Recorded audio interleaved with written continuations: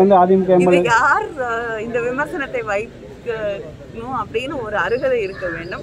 யாருக்கு இவங்களோட ஆட்சி காலத்துல வாய்ப்பு இருந்திருக்கிறது? இதற்கு முன்னாள் தலைவர் கலைஞருடைய ஆட்சி காலத்திலும் ஜனநாயகம் என்பது அப்பொழுதுதான் கடைபிடிக்கப்பட்டது.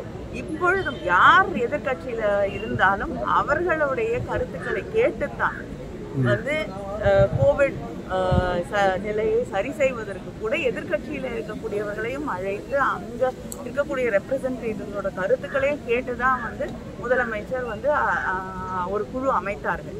அதனால் எதிர்க்கட்சிகளுக்கும் பேசுவதற்கு வாய்ப்பு அளிக்கப்படுகிறது. அவங்களுக்கு பேச முடியாமல் வந்து வெளியில் போகிறாங்கன்னா யாரும் பன்னீர்செல்வம் வந்து திமுக வந்து பொய்யான வாக்குறுதிகளை கொடுத்து மக்களை ஏமாற்றுது அதுபோக வந்து இந்த கொடைநாடு கொலை வழக்கில் வந்து திட்டமிட்டே வந்து அதிமுக அமைச்சர்கள் மீது பழிவாங்க முயற்சியில் அதிமுக எம்எல்ஏ மேலே பழிவாங்குறதுல சொல்கிறாங்க இதுக்கு வந்து ஊடகத்துறையை சார்ந்த எல்லாருக்கும் எல்லா நண்பர்களுக்கும் தெளிவாக தெரியும் மக்களுக்கும் தெரியும்.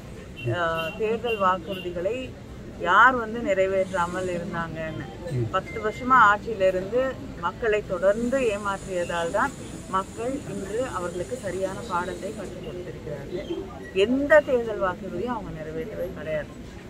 ஆனா ஆட்சி பொறுப்பேற்றுக் கொண்ட அன்றே தலைவர் கலைஞர் அவர்கள் எப்படி வந்து மக்களுக்கு அளித்த வாக்குறுதிகளை நிறைவேற்றி தந்தாரோ அதே வழியில தளபதி அவர்கள் முதலமைச்சர் பொறுப்பை ஏற்றுக்கொண்ட அன்றே வந்து தன்னுடைய தேர்தல் வாக்குறுதிகளை ஒவ்வொன்றாக நிறைவேற்ற தொடங்கி இன்று வரை அதை செய்து கொண்டிருக்கிறார். அதனால ஒரே நாளில் எல்லா வாக்குறுதியும் யாராலையும் நிறைவேற்ற முடியாது.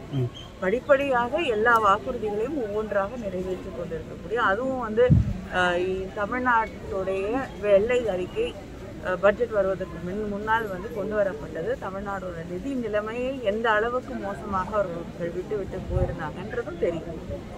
இப்படிப்பட்ட சூழ்நிலையில் இத்தனை பிரச்சனைகளுக்கு இடையே மக்களுடைய தந்திருக்கக்கூடிய வாக்குறுதிகளை திராவிட முன்னேற்ற கழக அரசு நிச்சயமாக நிறைவேற்றி கொண்டிருக்கிறது. எல்லா வாக்குறுதிகளையும் நிறைவேற்றும்.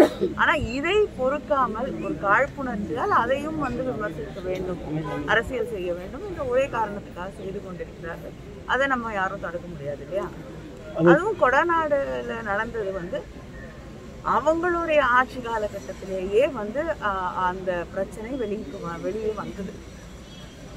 அப்பொழுது அங் ஒரு பத்திரிகையாளர் தான் அங்கே நடந்த உண்மைகளை எல்லாம் வெளியே கொண்டு வந்தார்.